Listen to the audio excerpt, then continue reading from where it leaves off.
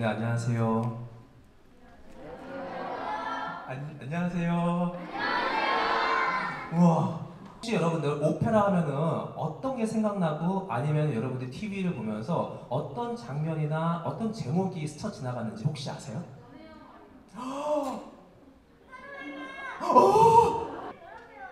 피가로의 결혼 배워요? 이게 웬일? 아니 제가 지금 강의할 필요가 없어요 여러분들 이게 웬일이에요? 맞습니다. 제가 이 스트라빈스키의 병사 이야기를 가지고 아주 재밌게 물어도 보고 여러분이 답을 해주실 것 같아요 오늘은. 분명히. 그래서 함께 이 어려운 음악을 같이 재미있게 만들어 나가겠습니다. 병사의 이야기를 시작합니다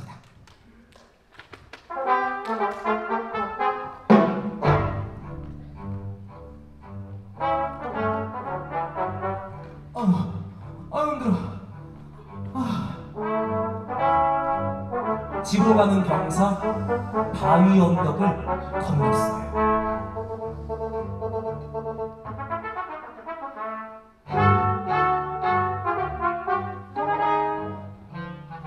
아 힘들어.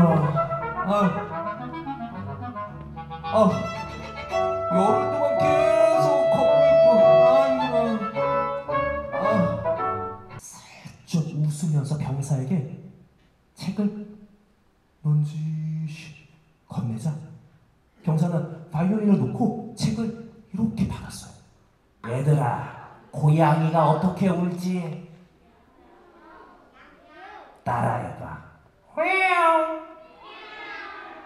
자, 고양이 노래 한번 불러주면 따라올래나?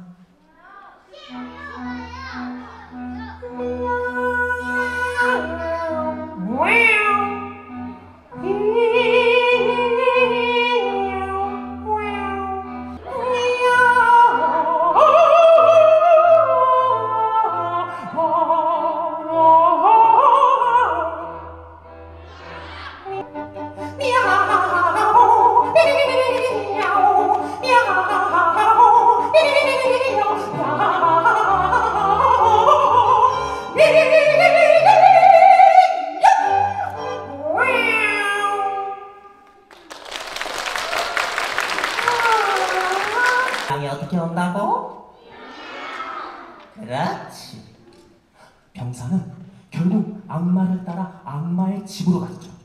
거기에서 약속대로 바이올린을 가르치고 악마가 얘기했던 그 모든 것을 2박 3일, 3일 동안 마음껏 즐긴 후에 악마의 그 마법으로 아주 순살같이 처음 악마를 만났던 그 장소, 한참 한참 한참 걸었던 그 장소로 돌아갑니다.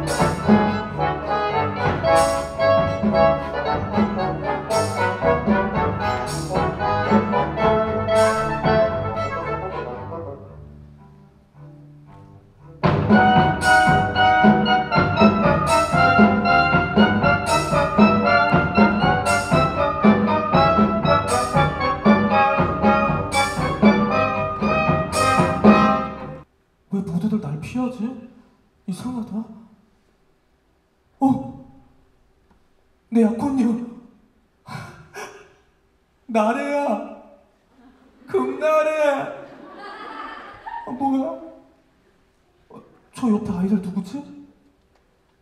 약혼녀 옆에는 두 아이와 남편으로 보이는 어떤 남자와 같이 있었어요. 3년이 지나버린 거예요. 병사는 악마의 시간을 그 보낸 것을 막 자책하면서 슬퍼하기 시작했어요. 아, 잠깐만, 아, 내가 왜 이랬을까? 아, 내가 어떻게 해야 되는 거지?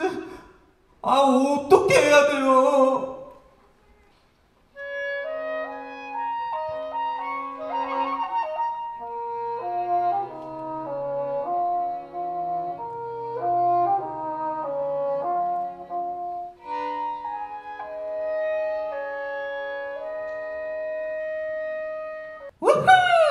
아하!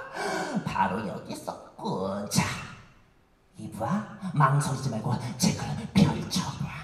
그 책은 네가 원하는 그 모든 걸 줄 수 있어. 넌 정말 진짜로 찐으로 행운하라고. 자, 열어봐.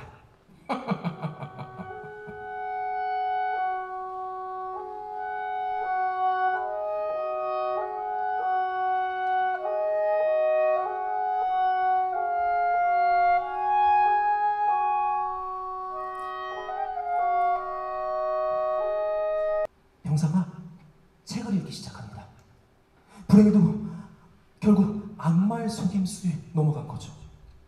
그래 그래 자 계속 읽어봐 그렇지 계속 기했어 그 책을 읽으면 읽을수록 엄청난 돈이 너한테 쏟아질 거야 이 책 덕분에 엄청난 행운을 가졌는데 내가 만약에 병들거나 죽으면 어떡해? 그게 다 무슨 소용이야? 행복하고 가치 있는 그의 삶은 이제 더 이상 없어지고 무언가에 홀린 사람처럼 이상했죠.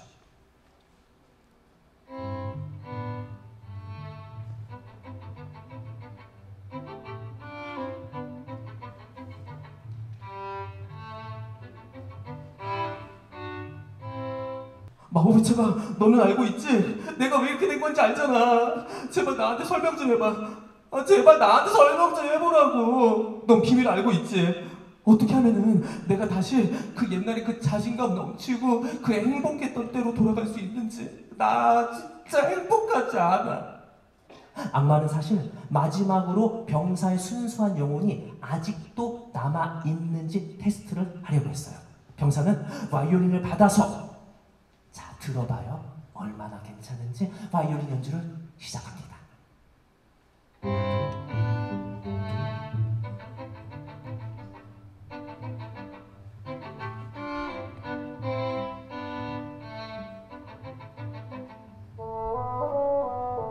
병사는 이 모든 상황이 마법의 책에서 시작되는 걸 알아차리고는 있는 힘껏 바이올린을 내동댕이 친 후 마법의 책도 막 갈기갈기갈기 막 찢어가지고 다 버렸어요.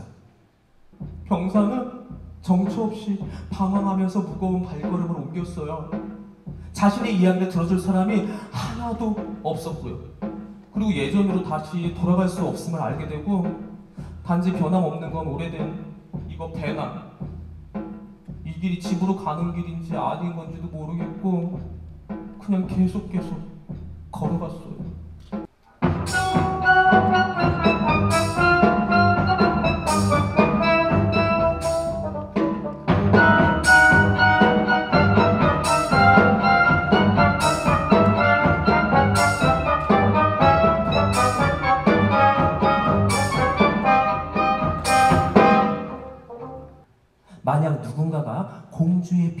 낫게 한다면 내 기꺼이 공주와 결혼시키겠다. 그래서 지금 당장 왕을 만나러 왕궁으로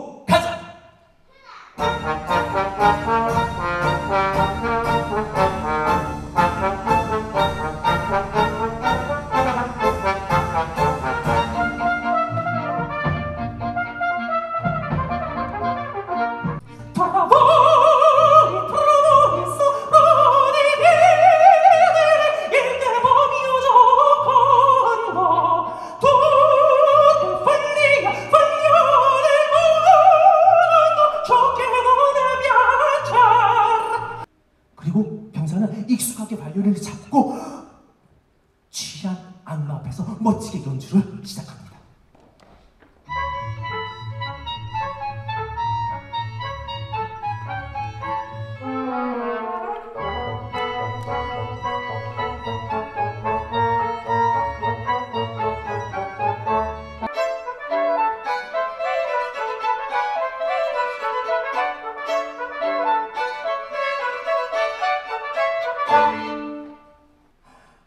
공주요, 이제 안심해도 돼요.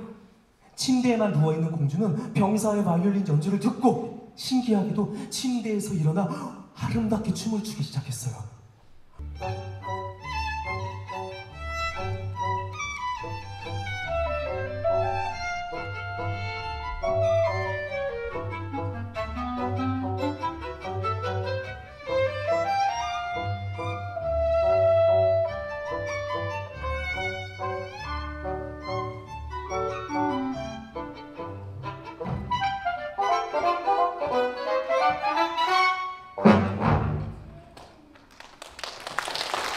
행복은 멀리 있는 게 아니고 바로 바로 그렇죠. 바로 옆에, 바로 앞에, 바로 뒤에.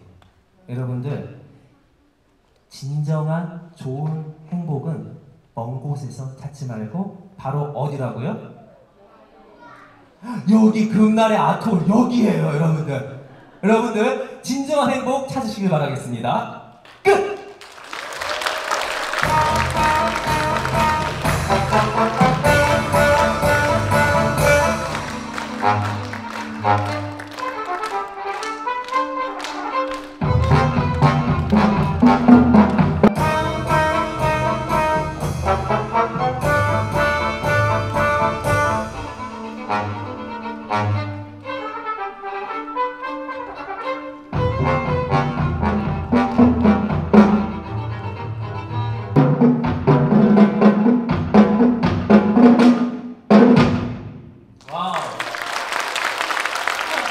이고르 스트라빈스키 1880년대에 태어나셔서 1971년에 돌아가셨는데 러시아 출생의 스트라빈스키의 지금 제목이 뭐라고요?